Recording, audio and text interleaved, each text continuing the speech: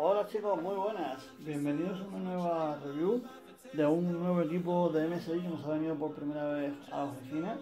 ¿Vale? Así que, pues bueno, vamos a aprovechar para enseñaroslo, porque hasta ahora además eh, es el más potente que ha pasado por aquí de la gama Raider. Como ya estaréis conociendo más de uno, ¿vale? Hablamos de un MSI GE75 Raider. En este caso es la versión 8SF, ¿vale? que son los que llevan al parecer las, las nuevas 2070 de la nueva gama RTX de, de Nvidia serie 20. ¿Vale?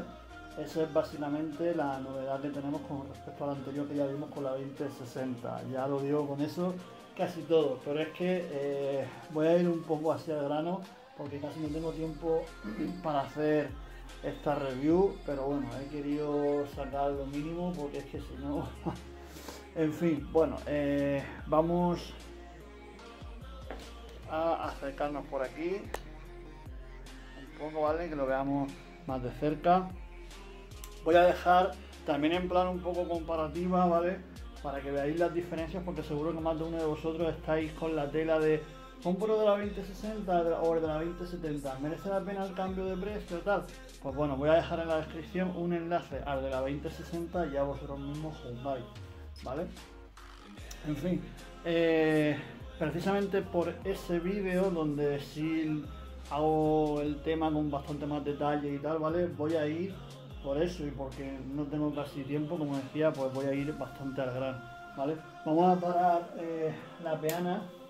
Como ya sabéis eh, muchos de vosotros, estos son los GE75, es una gama que tiene muy poquito tiempo en MSI y se caracteriza principalmente por tener un tamaño de unos 15,6 pulgadas aproximadamente, pero tiene un monitor de 17,3, ¿vale? ¿Por qué? Pues porque va prácticamente sin marco, es muy fino, muy fino, y claro, y eso hace que se pueda encoger el chasis. Eso evidentemente pues tiene cosas positivas y cosas negativas. El tema de la portabilidad, ¿no? Pues siempre es algo más ágil, un poco más cómodo y tal, pero claro, también se calienta un poco más que si fuese un chasis realmente de 17 pulgadas.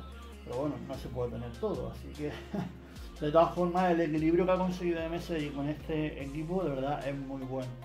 Es buenísimo. Ya lo comenté en el de la 2060.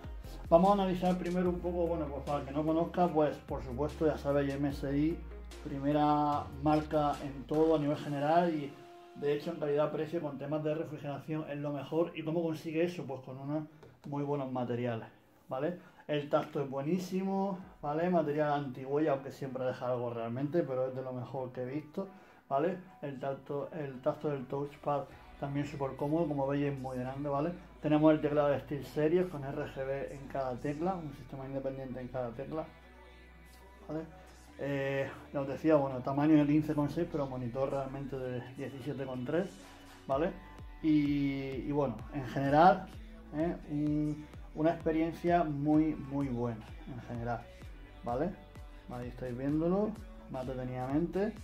Eh, las conexiones, pues como habitualmente vamos viendo, ¿vale? Dos conexiones de audio, varias en oro, un USB 3.1 tipo C, un USB 3.0, un mini DisplayPort, HDMI y RJ45 para el cable de red, ¿vale? Aquí tenemos una de las salidas del Cooler Boost, ¿eh? que lleva el Cooler Boost la versión última que hay, la, quinta, ¿vale? Aquí otra, ¿eh? y por aquí tenemos otros dos USBs 3.0 y un lector de tarjeta, ¿vale? Por aquí por el frontal, pues tenemos los LED indicadores de estado. En fin, eh, ¿qué más decir? Bueno, la máquina que lleva dentro, bueno, aquí, por aquí arriba muy disimulada lleva la webcam, ¿vale? A 720p, 30 fps, en fin, está muy bien. El tacto, como digo, es muy cómodo, muy agradable. ¿eh? Bueno, eh, tenemos un i7, ¿vale? Un 8750. Es todo como el, otro, 16 GB de RAM de 4 a 2666. Lleva un disco duro SD, ¿vale? Un SSD, perdón. Eh, en este caso sí es verdad que sube también, creo, porque el otro creo que era de 256. En esto tenemos uno de 512 GB, PCI Express NVMe ¿eh? de los más rápidos que hay, a 3.000 y pico megas por segundo, es una pasada. Otro disco duro adicional de almacenamiento, como siempre, de un terabyte a 7200 revoluciones. ¿Vale? La gráfica ya lo he dicho, la RTX 2070 con 8 GB de memoria de vídeo, GDDR6, en fin, eso ya cada uno que quiera detalles más técnicos sobre cada cosa puede buscarlos en Google. Y no sé si se me escapa algo, esta versión va sin sistema operativo igualmente, eso lo hemos puesto nosotros, ¿eh? con nuestro servicio de instalación y optimización del sistema. Cooler Bus 5 por aquí, bueno, no sé si se aprecia, pero bueno, ya os digo, no voy a perder mucho tiempo en detallar, se supone que se fía de mí, ¿vale? El monitor, aparte del tamaño, como os decía, es una pasada porque tiene 144 Hz, ¿vale? A 3 milisegundos. Es una pasada de monitor, ¿vale? Eh, el sistema de sonido Naming también, buenísimo en ese sentido, ¿eh? MSI sigue apostando por Nemix porque la verdad están dando resultados muy, muy buenos. Y qué más deciros, el precio, pues ahora mismo ronda sobre los 2.000 euros. Nosotros en Gigabyte, en la web, lo tenemos con respecto a PC Componentes, creo ahora mismo había una diferencia de 90 euros. Porque por circunstancias pues tenemos ahora mismo un buen margen. Pues ese buen margen que tengo, como ya sabéis, vendo al coste, pues eso lo quito y oye, eso lo lleváis, ¿vale? 90 euros más barato con PC componente. Nosotros lo tenemos en 1945, creo que es cosas así. Pero ya digo, todo eso son cosas del momento. ¿Vale? Ahora mismo en concreto, además, tiene esta promoción de mochila y tal, ¿vale? Una mochila, pero todo eso siempre es temporal, o sea, no puedo garantizar el tema de las promociones en todo momento, ¿vale? Normalmente casi siempre hay. Pero bueno, y no sé si se me escapa algo más ahora mismo con respecto al tema del hardware. Yo creo que lo he dicho todo. El tema de la wifi también es buenísimo. Aquí tengo 400 megas de conexión casi de fibra. Tengo 300 contratados, pero me llegan casi 400 y las coge todas. Y en fin, va espectacularmente bien. ¿Vale? Va espectacularmente bien. He hecho unos pequeños tests, ¿vale? Con algunos juegos, como dice, como, bueno, de hecho son los mismos juegos, porque yo quiero hacer, por así decirlo, como os he dicho, en plan comparativa con el otro. Y he testado los mismos juegos con las mismas configuraciones gráficas, ¿vale? Ahora vais a ver un resumen del pupurri, ahí un poco en cámara rápida, con musiquita de fondo y tal, ¿vale? Para no hacer el vídeo excesivamente largo. Y eso, y luego pues daré eh, conclusiones, ¿vale? Así que bueno, lo dicho, eh, siento no poder extenderme más en algún detalle, a lo mejor se me escapea la batería. Por ejemplo, eh, me comentaba un cliente hace poquito, mira, vale, por YouTube un suscriptor comentaba cuánto dura la batería tal. Le dije, creo recordar que sobre 5 horas, efectivamente. A un 90% de y 5 horas, ahora mismo, ¿vale? Así que bueno, ya después de ahí, eh, según evidentemente el tipo de uso que le deis, pues va a bajar más rápido o más despacio, ¿vale? Eso ya, cada uno, ¿eh? Tener en cuenta que esto ahora mismo está en reposo. Entonces en reposo evidentemente consumo lo mínimo y, eso. Y no, se puede tomar como una referencia 100% exacta. ¿Vale? Pero bueno, pero está muy bien porque en serio otros portátiles del estilo, ¿vale? Otros Raiders, por ejemplo, de la gama G73 y la 63 no duran tanto, no sé si dan arroz de 3 horas. Así igualmente en el reposo. O sea que en ese sentido MSI también ha tenido un acierto. Vale que el tema de las baterías es algo que aún se puede realmente mejorar muchísimo porque es algo es un, es un gran lastre todavía con respecto a la tecnología que tenemos a nivel general, pero pero dentro, dentro de lo que hay, pues la verdad está bien, ¿vale? Y nada, lo dicho, vamos a pasar con el gameplay de los juegos estos que os comentaba y ahora os comento un poco mi conclusión, ¿vale? Y también mi opinión con respecto a la...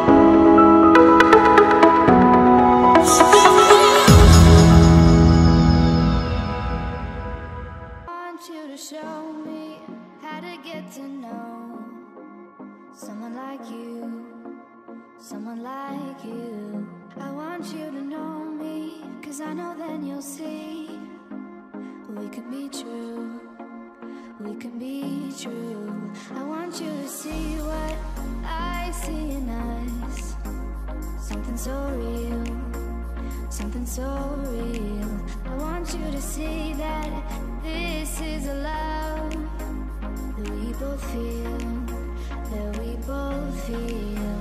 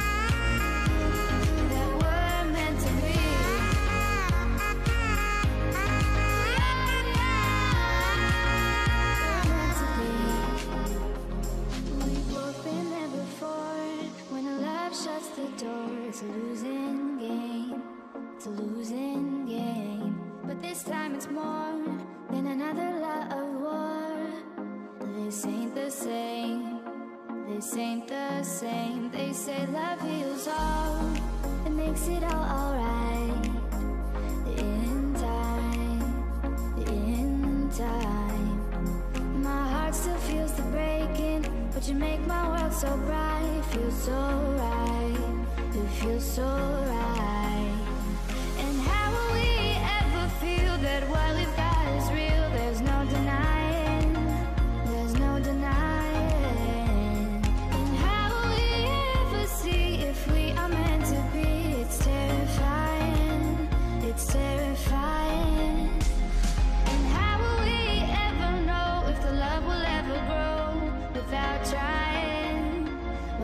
try it.